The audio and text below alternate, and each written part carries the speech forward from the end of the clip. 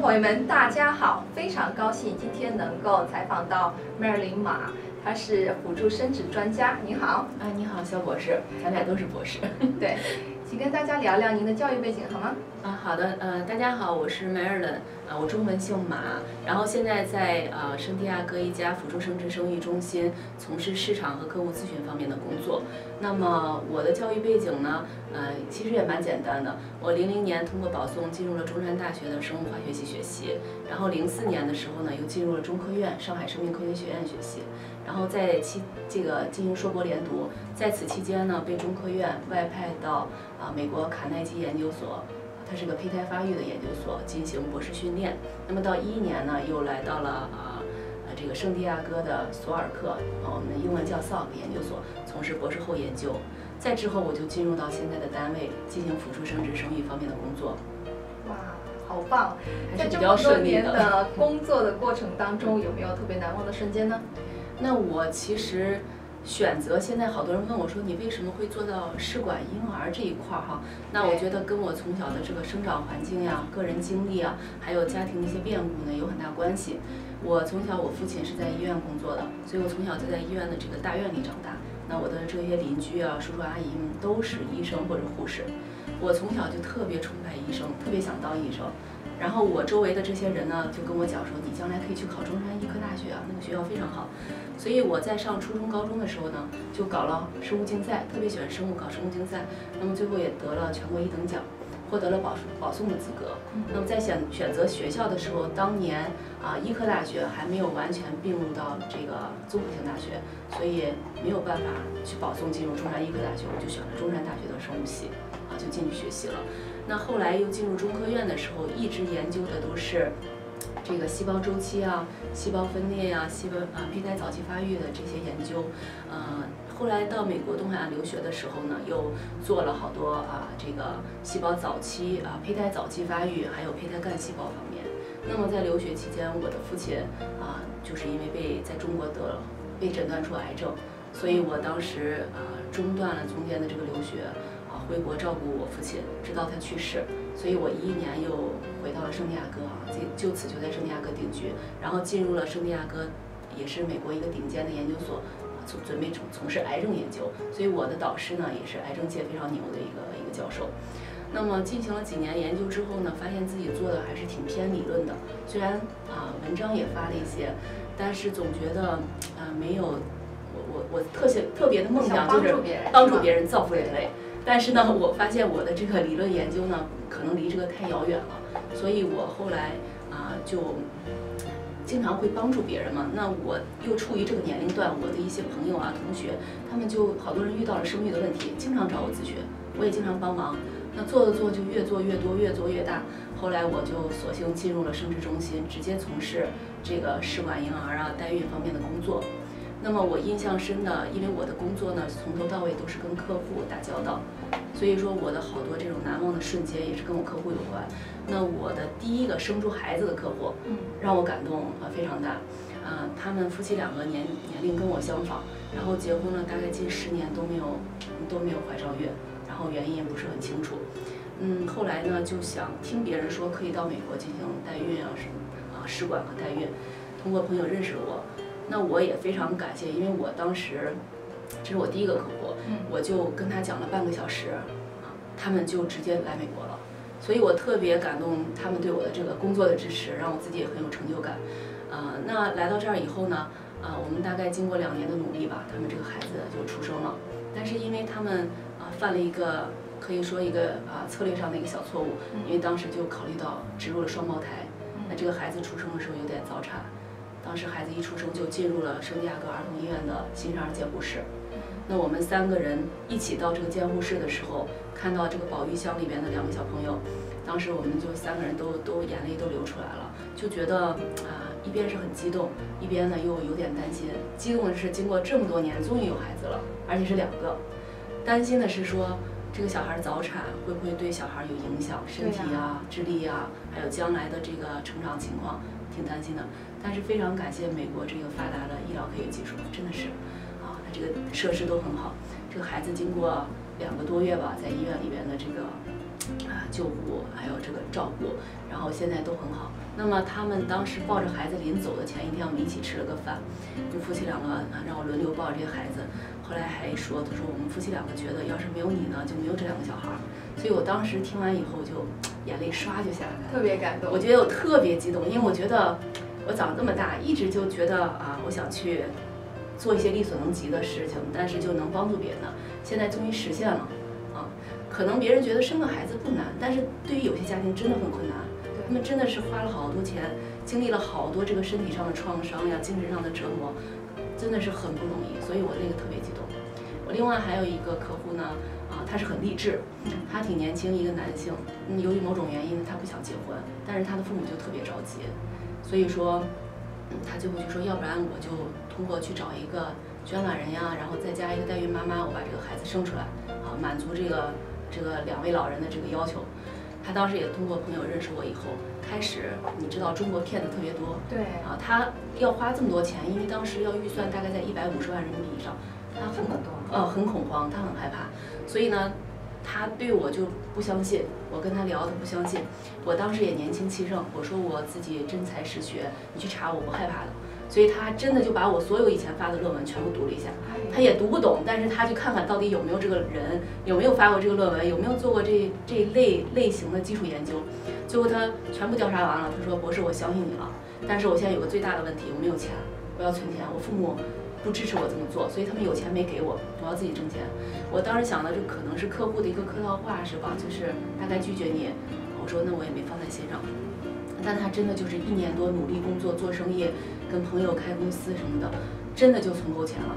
存够以后，他给我打了电话，他说我准备去美国了，所以他就来了。来了以后，他还蛮顺利的，就是一年多一点，然后这个孩子就报道，现在孩子已经一，问一个技术方面比较强的问题啊，有朋友说在日本做这个婴儿的话，胚胎婴儿的话，他们做的是小排，打的那个针比较短，一次排那个九到十个卵子。刺激。然后说在美国这边呢，他们用的那种大排，打的针比较长，容易导致这个腹腔积水什么的，一次排三十个卵什么，因为他们追求的这种成功率。那么您如果给大大家做这种胚胎的这个呃研究的话，是比较喜欢哪一种？首先呢，你刚才这个说法是不对的，因为因为对，因为是这样的，这个如果我们这个醋排，很多人就觉得有叫传统促促排，然后有微刺激，然后有大醋，好多中国人是这么说的啊。实际上呢，不是每家诊所都一样的。不是每家诊所都统一用那么长的针或者什么的，每个诊所每个医生的方案都不一样。其实我们美国也可以做微刺激的啊，日本也可以做做传统刺激的。至于治呃你到底是用哪种方法，主要是根据你个人的情况。有些人他可能年龄大了，卵不是很多，他可能说我考虑呃微刺激比较多。有些人这么考虑，但有些年轻的，你微刺激刺激那几个卵，那你出来的胚胎也很少。可是你明明一次做一个普通的方法也能取很多卵，就没必要。所以这个绝对是因人而异。那如果大牌的话，会不会就是真的比较容易导致腹腔积水？这个也要看医生跟诊所。所以像我工作的这个啊单位的话，我们的医生还是比较注意这种副作用的产生啊，比较预防的。所以用药量一般来说不会特别大，不会让你过度刺激，因为过度刺激很容易引起卵巢早衰啊，这个积水啊这些这些问题啊。所以医生还是比较注意的。但有一些地方可能有些医生啊。就要注意。哎，好像我们美国本地的这些居民，好像你要是结婚八年能不能生小孩的话，保险还是会 cover 一定的费用对吗。呃，这个我还真没听说八年有这个年限的问题。这个主要是跟各个单位的保险有关。因为我们有些像我知道的啊，有些那个，比如说像谷歌啦这些大公司，他们福利比较好，甚至他都提供女员工的冻卵的这种保险，就是给你两万美金，你可以去冻卵啊。但是像一般的单位，我知道现在保险不是特别好的话，不会 cover 的。一般这个领域都是自费。哎，说冻卵哈，我一个学生也是在做这个冻卵方面的这个 business，说是这个冻卵其实冻太久并不好，像一两年就。用掉比较好，对吗？你这个说法也不对，也不对啊，对，因为在一七年的时候，中央人民广播电台就是当时有一个新闻也采访过我，说你怎么看这个冷冻卵子？当时这个新闻就是世界上年龄最大的卵子产生这个最后变成宝宝了，是因为这个啊，夫妻两个呢，大概是二十六岁，然后一直就怀不上孕。那最后检查这个女的这个卵巢功能不行，需要使用别人的卵子。他们就在当地的那个精子卵子库去找了一个卵子，这个卵子已经冻存了二十五年了，所以这个卵子实际年龄只比她小一岁。但是最后，因为她用了这个卵，最后又自己怀出来这个孩子嘛，变成她是那个那个卵子产生宝宝的妈妈了嘛。所以这个新闻在一七年还挺啊，当时就是嗯，好多人都都知道，当时那个。中央广播电台对，还就这个问题采访了我说你怎么看这个冷冻卵子？其实呢，因为冷冻卵子这个卵子是冷冻在液氮当中，液氮是零下一百九十六度，它很稳定。只要这个液氮持续供应的话，这个细胞应该是可以一直保存的，包括胚胎。所以说现在越来越多的年轻女性，她很注重事业，一时半会儿又没找到合适的对象。过去呢，可能你过了那个年龄了，就想生孩子生不了了。但是现在呢，因为高科技的这个发展。这个医疗技术的发啊，这个进步，所以解决了好多女性的后顾之忧。那我这边就有好多大量的这种女性客户，啊，尤其是以北上广深这种发达的这个城市，他们的工作节奏特别快，一时半会儿呢，确实是没有办法投入到这个生孩子、养孩子过程当中，所以他们有很多选择性的把卵子就先冷冻了，其实真的是很好的。我最近有看一篇新闻，他们说你们做这个试管婴儿的时候，还可以选择那个婴儿的眼睛的颜色。是不是真的可以这样？就是有些婴儿的这种啊性状由基因决定嘛？那这个基因其实就是卵子和精子的基因来决定的。那你选择，当然选择颜色一定要看你的父母的眼睛颜色，就是这个精子卵子。那么有很多单身女性，比如说她最后是使用了捐精人，那她可以从这个精子库里面选一个金发碧眼的啊这个这个捐精人的精子。那这样的话，她的宝宝就有一定的几率是这种蓝眼睛了。那。同样的单单身男性的话，他也可以选捐卵人，按照他这个标准，这是可以的。但是如果你的父母，是我们都是中国人，那你很难生出蓝眼睛的孩子，对吧？主要是我们还是遗传的一个问题。还有很多呃观众朋友问，想让我来问你啊，是不是这个试管婴儿比我们正常的这个婴儿更健康？这个现在科学上还没有一个定论，我觉得。但是像我老公也是，我的我的先生他也是做科研的。他前几天发现一个文章，说在正常自然受孕生产的宝宝当中，也有可能有这个问题。就我们不知道，只有到他将来生孩子或什么时候才发现自己有问题。这个我大量客户，因为我现在也看到好多例子，染色体他自己染色体有问题，但是他活得好好的，可是到他生孩子的时候，这个孩子就生不出来。啊，对对。所以说呢，如果说有这样的问题的，那我们通过试管婴儿是可以筛查的，有一些东西是可以筛查的。从这种程度上说，你的这个试管婴儿的宝宝可以比你自然的这个要更健康一点。那么到底是自然？当然，我们自然的这种受孕也是一个自然选择的一个过程。所以说，到底是不是所有的自然生的宝宝都不如试管的宝宝？这个我觉得目前没有定论。但是试管宝宝确实在某种程度上是可以达到优生优育的这个结果。真的是非常好。对。那你对于未来想要从事跟您类似行业的年轻人，有没有什么鼓励的话要说呢？我觉得，因为我说真的，我一路读过来，在十年前我是没有办法想象，今天自己是会从事这个行业的，我完全没有想到。当年听到试管婴儿，觉得非常神秘。就觉得哇，好神秘啊！那个地方完全没有自己没有探索过。但是现在我自己在这个行业里边做的时候，实际上我是非常平常心的。有好多客户或者朋友就说啊，那个好神秘啊，这个宝宝怎么就出来了？怎么就高科技就把这孩子弄出来了？其实我们在行业内的就觉得挺正常的一件事情。那我觉得不管年轻人从事什么工作，我觉得都要注意两点吧。一点的话是，你自己一定不要只局限在自己现在的领域当中，一定要啊。也不要是死读书，一定要多接触社会，多听一些啊不同的讲座，多认识一些不同的人，参加一些不同的组织啊，你把自己的视野开拓了，因为你很多东西你接触的可能都是一个积累，不知道在什么时候它就爆发出来了。啊，第二个呢，就是我觉得年轻人一定要敢想敢做。你还年轻，你的这个现在不是说人的寿命都在延长吗？上次看了，有可能到时候我们都延长到一百二十岁了。你现在二三十岁，你还是 baby 的阶段呀，所以你还是可以做很多事情。如果你有想法，在美国这样一个宽松的环境当中，你真的完全可以去实践，去去踹。如果说你成功了，皆大欢喜；如果你失败了，nothing to lose，right？对，我们可以从头再来，我们积累了好多经验。我觉得这是真的是让自己的生活呀，让自己的这个生命更有意义。那么 San Diego 呢，它也是一个移民的城市，您有没有什么话想对新的移民说呢？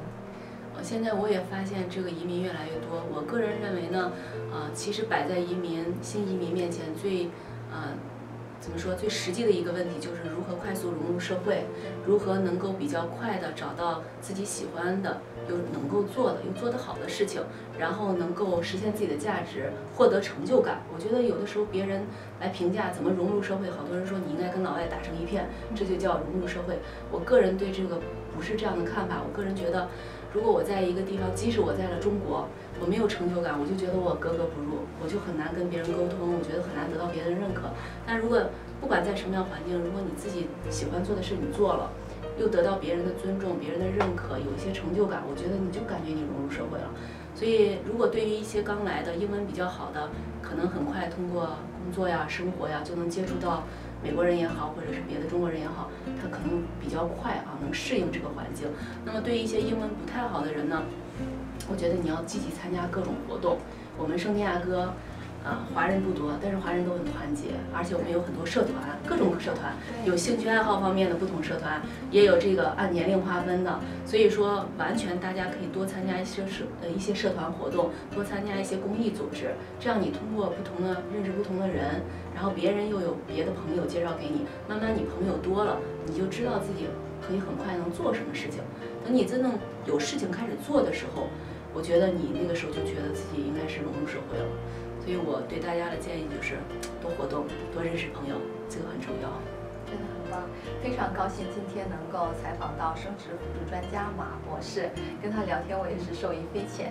我非常希望以后如果有朋友需要他的帮助，能与他联系。谢谢，谢谢大家。